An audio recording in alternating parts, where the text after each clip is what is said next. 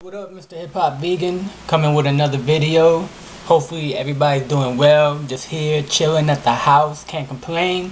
So, today I'm going to make a video how to buy books for cheap and what to look for when you buy books for cheap.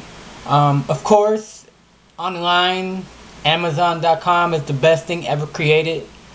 So, if you're one of them people who say you can't read or books are too expensive, then you have a problem because Amazon got cheap books. You can get books for a penny, a dollar, and sure, shipping and handling will be like $3.99. But to me, if you want to get your library up, Amazon is the place to go.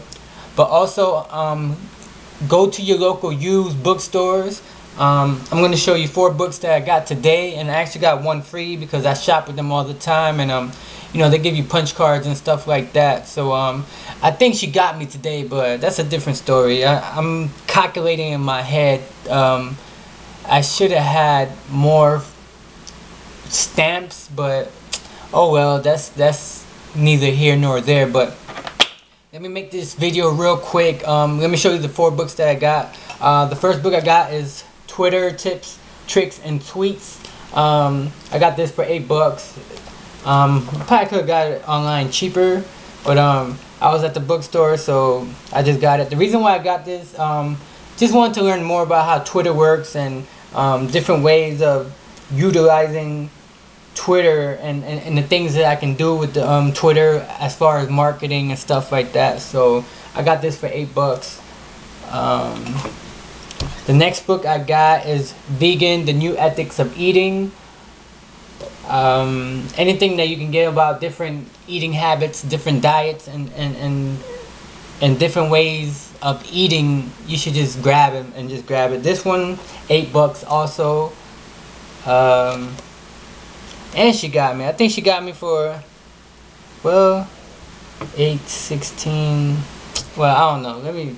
Sometimes you do the math. You just go there, buy books, and but it's still cheap though compared to going to to Borders or or does Borders even exist anymore? Barnes and Noble. I go to Barnes and Nobles too, but um, that's when I really just go go in there and just want a book real quick. I go to Barnes and Nobles. This one is Fix It and Flip It. Um, you can never know too much about real estate. I believe real estate is a, a great investment if you know what you're doing. And I also believe that you have to just do enough research and also have a mentor when you when you're dealing with real estate, knowing um, what to buy, what what to look for when you buy a property, um, how to fix properties, or if you have the money, you know you can always hire contractors, and that's if you're flipping it, you know. So, uh, fix it and flip it by um, Katie Hamilton and Gene Hamilton. Um, they're probably husband and wife. Um, and they probably had an argument whose name they gonna put in first, and they probably Katie, the wife, won. So Katie and um, how to Make Money Rehabbing Real Estate for Profit. Um, I don't know what year this was written. I should have looked into it, but it, it, information is information. Uh, 2004. 2004.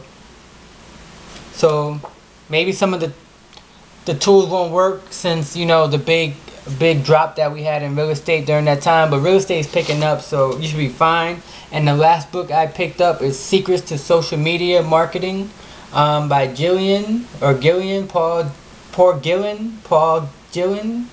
Um, hopefully I didn't mess up his name too much, but let's go by Paul. And um, this is another uh, a tool to use um, if you're gonna get into business. Social media is, is gonna is the place to be or, or, or the place to go uh, free marketing sometimes. So use the tools that you have. There's, too many tools out there you can use to become successful. Um, we got YouTube. We got YouTube free marketing where you can reach people across the world for free, basically, if you know what you're doing using YouTube. So stop thinking. Um, uh, stop having this po- uh, uh, what you call it poverty mentality where you think you need a, a storefront where you think you need a million dollars and where you think you need to go get a loan to open up a business. I think the worst thing some people can do is get a loan for a business they're not making money in. How you going to open up a business and, and you're not making money and, and, and you're going to go get a loan? Uh, stop stop Stop being scared and think outside the box. Go talk to people. Go out in the streets. Um, pass out your business cards. Um, do do the, the the crazy work that you need to do. Stop stop thinking you need loans. Stop stop thinking you need a storefront. When you got a whole the internet is making millionaires every day because people thinking outside the box. So these are the quick tip on how to buy used and, and, and cheaper books. I probably go to the flea market and probably get books for a quarter. That's another way. The flea market, pennies on a dollar, you can buy books. Um, if you if you're on a tight budget, you know. Also online, I don't. I got away from poverty mentality and poverty thinking about getting free books online. But what I do is I'll buy the book and I'll probably buy get the PDF online and and but I would buy the book all the time. And and and these people put in hard work, so you they should get paid. Um, if they give the free if they give free product away, then get the things for free. But most of the time think about how you're going to pay for it. Stop stop with the stealing and, and, and getting stuff off the internet for free. Um, that's a, a, a, poverty mentality. And, and, and if you keep thinking like that you're not going to be successful.